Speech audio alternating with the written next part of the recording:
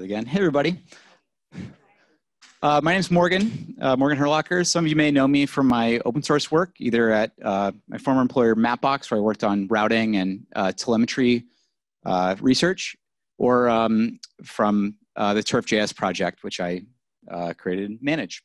Um, today, though, I'm going to be talking to you about road conflation, um, how we use basically protocols for sharing street data, uh, making more data open and interoperable between base maps, including uh, Uber movement. Um, so first off, um, I work for a nonprofit called SharedStreets. Um, we're just a small team. We work on uh, essentially protocols that allow you to describe a road network. So a particular street, you might know it by a name, um, like Market Street outside.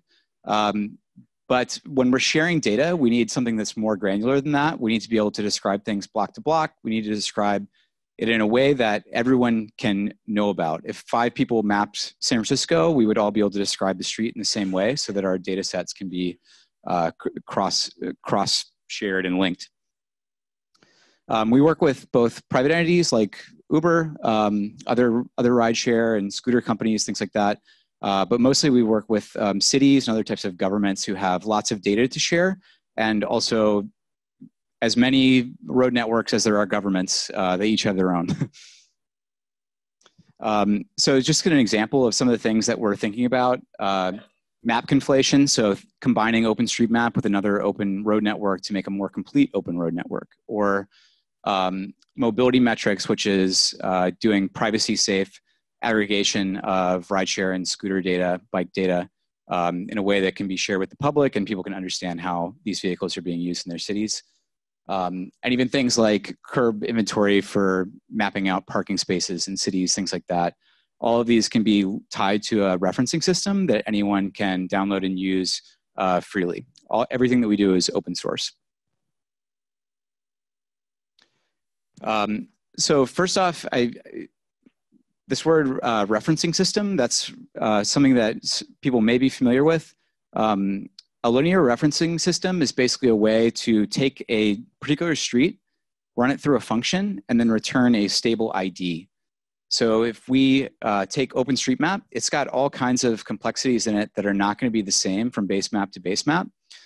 Um, so essentially what we do is we do a step where we normalize this graph. We make sure that for example, a street actually splits uh, consistently across each block. It's not like uh, one street that just runs for miles and miles and miles.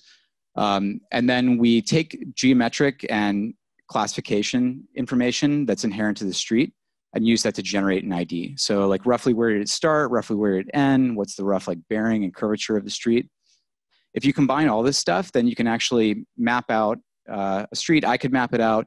You could map it out. Uh, some other one of those cars driving around with the camera on top could map it out automatically even, and they would all generate the same reference ID. Um, so the data they collect, which might be very varied, could be uh, combined into a more robust data set. So just an example of this, um, there's a lot of cities and governments that have road closure data. So like the government operates the 911 uh, line, so they have a unique position where they're able to capture this data more easily than anyone else. Um, but someone like Uber or a Mapbox or Google Maps has lots of traffic data. Now, with uh, just one of these, you can do certain types of analysis and certain types of, of operational infrastructure. But if you were to combine them, it would be much more powerful. These things, uh, most map data sets have sort of a, a, a, power effect where when they're combined, they become more accurate, more efficient, more powerful.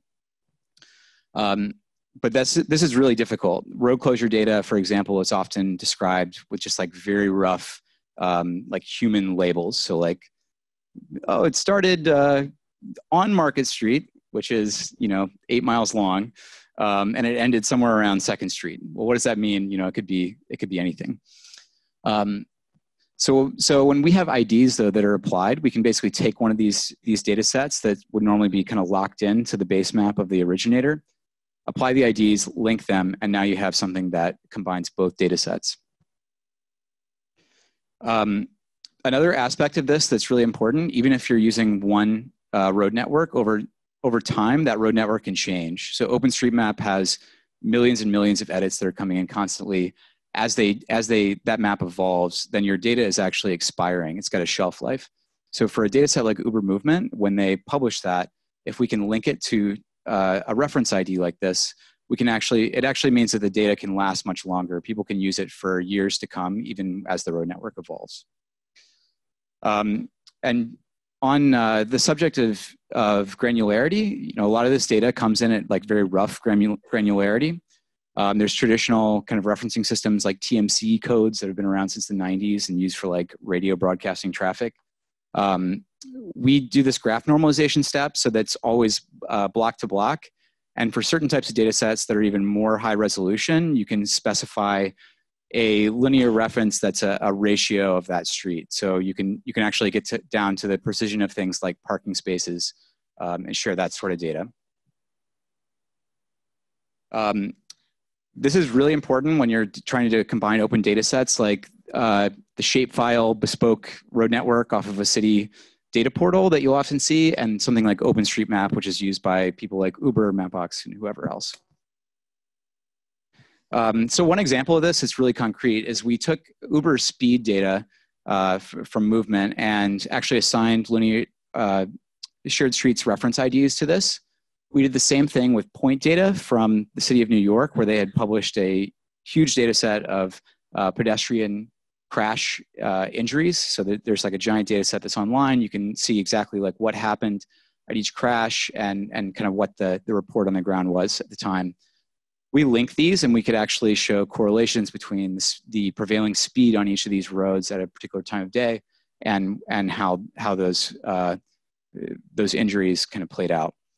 Um, this is really important for Vision Zero and anyone in a city who's like interested in reducing pedestrian deaths, which is sort of uh, priority one from anyone who's, who's working the city space right now.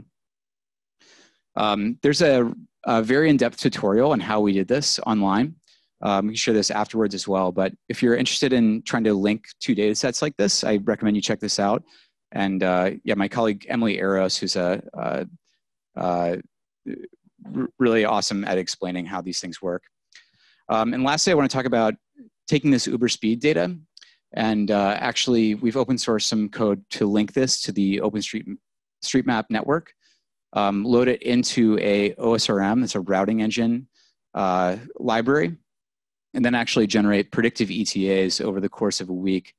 So in this case, what we're looking at is a couple control routes that we happen to select. One is Oakland to San Francisco, another one is uh, Market, where we are now, to the Presidio.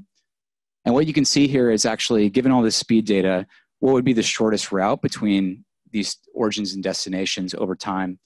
Uh, things like this are really useful if you're if you're a planner or anyone kind of involved with sort of understanding how long it's going to take from to get from A to B um, which is really important for just making our cities more efficient. Um, additionally, this is open source. If you want to try this out in your city, um, there's like almost 40, maybe more cities with Uber Speed uh, data that are available now. Um, so I'd recommend trying that out, especially in San Francisco. Um, thanks.